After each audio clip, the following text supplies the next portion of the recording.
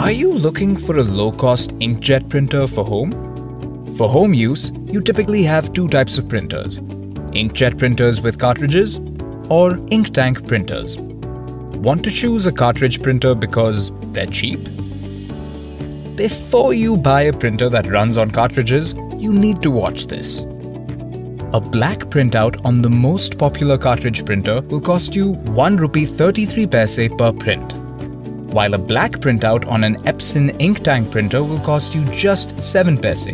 A color print on a cartridge printer on the other hand will cost you a whopping 5 rupees 57 paise per print, while a color print on an Epson ink tank printer will cost you just 25 paise. Shocked? You should be. Let's say you take a very conservative 20 color prints in a month.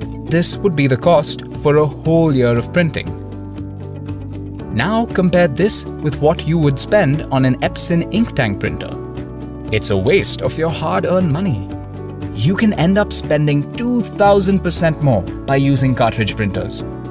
Then there's the convenience. Remember the times when you're printing late at night and boom, your cartridge printer runs out of ink? Cartridge printers will typically print about 150 color prints. With Epson ink tank printers, you get 4,500 black prints and 7,500 color prints in just one refill. Don't print too much? Doesn't matter if you print 10 or 50 or 100. Your Epson ink tank printer just keeps printing on and on and on at the lowest cost every time. So stop replacing cartridges every few weeks. Use Epson's ink bottles. Just fill it and forget it.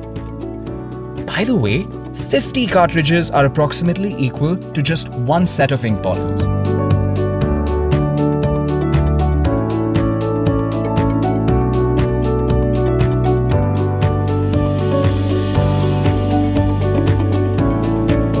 So the next time you think about buying an inkjet printer, be smart and steer clear of the cheap cartridge printers. So say goodbye to cartridges Say hello to Epson Ink Tank printers. Epson Ink Tank printers, the only way to print.